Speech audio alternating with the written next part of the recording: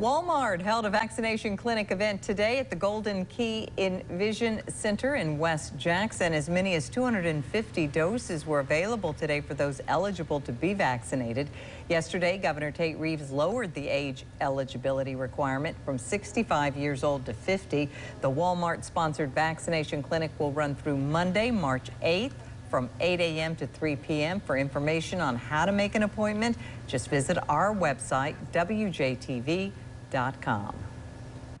We reached out to Walmart and asked them if they could please come into the community and give uh, vaccinations, and they agreed and came, and they've been giving shots right here in the community for the last week, and now they're going to be here for another week.